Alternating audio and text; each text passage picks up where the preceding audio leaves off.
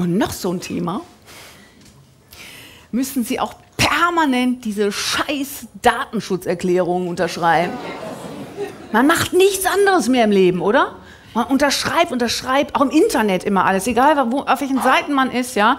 Überall musst du anklicken, bist du einverstanden? Ja. Sind Sie einverstanden? Ja. Ich mache das mittlerweile blind. Okay, okay, okay. Ich habe jetzt drei Waschmaschinen und eine Penisverlängerung. Wenn einer eine braucht, einfach gleich zum Bücherstand kommen. Ich habe sie dabei. Ne? Björn, ich weiß nicht, aber nicht so, aber weiß ich ja. ja. ich gesagt, verrückt, ey. Alle springen auf diesen fahrenden Zug auf. Ich weiß nicht, was soll das? Also, wenn es was bringen würde, wäre es ja toll. Es bringt aber nichts. Ja? Und selbst mein Navi hat neulich gesagt, hm, biegen Sie ihn 400 Metern ab in eine Straße, die ich Ihnen aus Datenschutzgründen nicht nennen darf. Zack, war ich im Reim.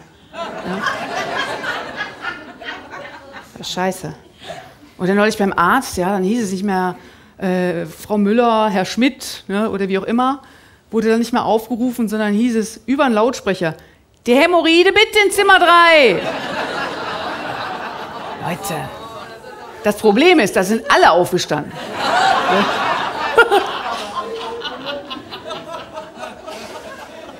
Aber eigentlich gerade da, wo du es wirklich gerne hättest, dass Datenschutz wirklich also, dass deine intimsten Daten wirklich auch intim bleiben, nämlich bei Ärzten zum Beispiel.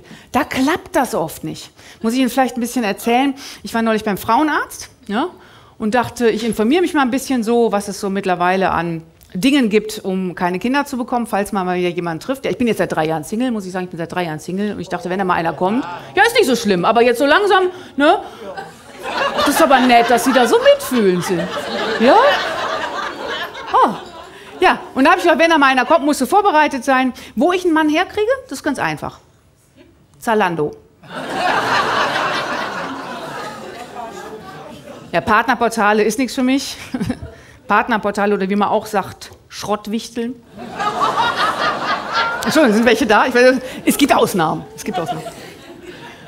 Ne? Und da habe ich einfach gedacht, naja, äh, kann ja unter Umständen dann schnell gehen. Äh, informierst du dich mal, du bist ja gar nicht mehr up to date, was ist da so an Verhütungsmethoden, was man so, ne? Und das ist ja schon ein bisschen, das möchte man ja gerne auch für sich. Also möchte man jetzt nicht, dass alle ne, das mitbekommen. Ne? Und dann sitzt du da so äh, bei der Frauenärztin, wobei ich finde, das sollte gar nicht Frauenärztin heißen. Das sollte eigentlich heißen Ärztin für KVK.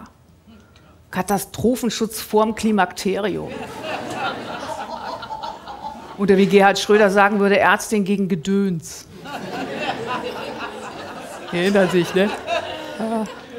So, ne? Und jedenfalls, dann sitzt du da im Sprechzimmer, dann kommt die rein und sagt, ja, Frau Ruscher, worum geht's denn? Sag ich, ja, also, ähm, also, äh, ich frage für eine Freundin. Sagt sie, nee, Frau Ruscher, das geht aber nicht. Worum geht's denn? Sag ich, also, die Freundin, die ist ungefähr genauso alt wie ich.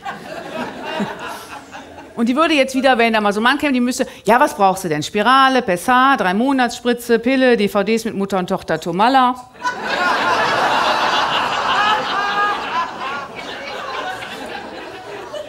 Sag ich, nee, da ist mir überall viel zu viel Chemie drin.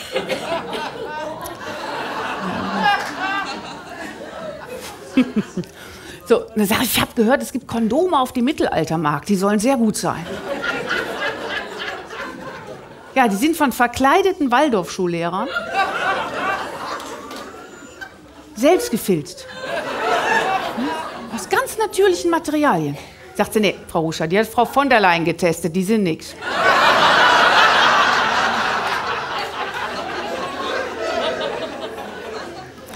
Sagt sie ganz ehrlich, Frau Ruscher, also in Ihrem Alter, da wird höchstens eine von tausend Frauen schwanger. Sag ich, 999, 1000. Also 1000 wäre jetzt die Freundin. Dachte ja gut, wenn Sie ganz sicher gehen wollen, dann gibt es die Joyful-Spirale, die ist nur für drei Jahre. Das reicht bei Ihnen. Sag ich, ja, danke, äh, wunderbar. Ne, können wir machen, okay.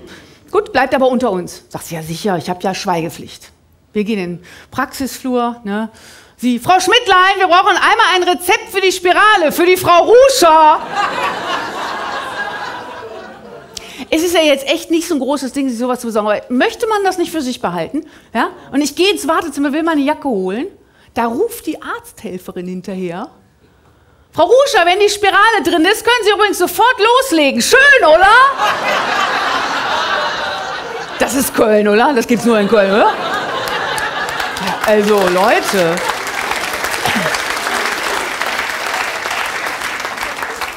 Dann gehst du am nächsten Tag mit dem Rezept in die Apotheke. Ich sag, äh, einmal die Salmlacker Kritztrops. Und ich habe ja Rezept. Und die Apothekerin guckt aufs Rezept, guckt auf mich, ruft nach hinten. Haben wir die Joyful da? Die für drei Jahre, das reicht bei der.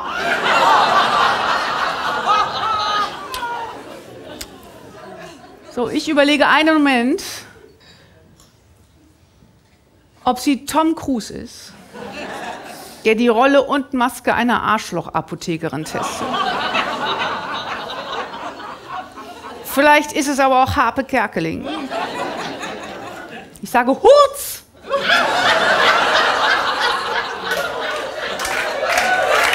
Die erinnern sich. Doch er reagiert nicht, kann also nicht sein. Ja, so.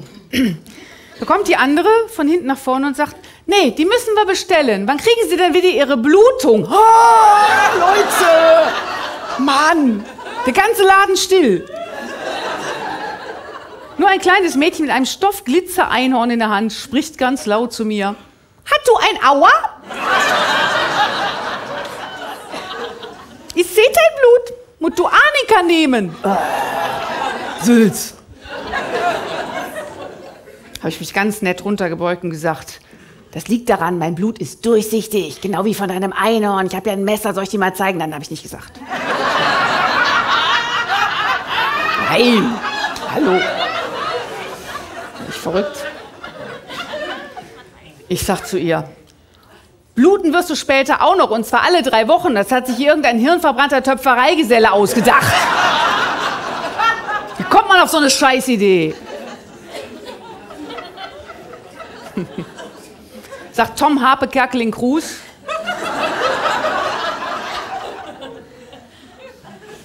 Wieso haben Sie überhaupt noch Erdbeerwochen? Sie sind doch schon, bin ich raus aus der Apotheke.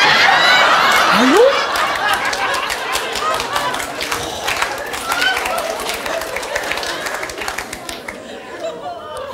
Dann willst du das Ding am nächsten Tag abholen. Ne?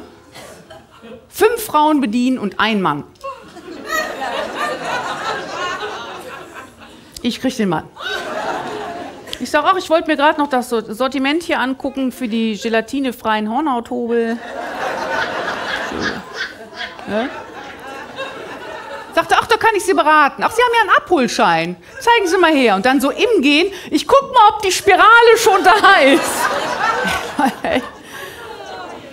Die ganze Laden schon wieder still. Die Frau, die neben mir äh, bedient wird, grinst, die anderen sieben auch. Ne? Ich sag, für eine Freundin.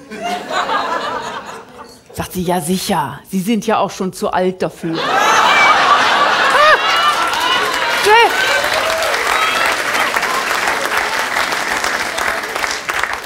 Kommt der Apotheker wieder, knallt das Ding auf den Tisch und sagt, so, bitteschön, aber nicht selbst reinsetzen.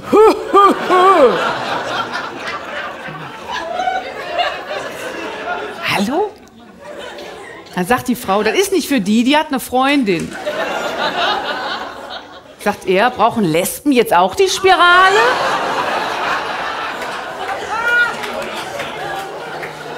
Und da hatte ich dermaßen die Schnauze voll. Ich hatte so die Schnauze voll, mir ist echt der Kragen geplatzt und habe gesagt, nein, aber unser Hund ist nicht kastriert. Was willst du denn da noch sagen? Deswegen kann ich nur sagen, ich habe das Ding wieder zurückgegeben. Nach drei Jahren. Dankeschön.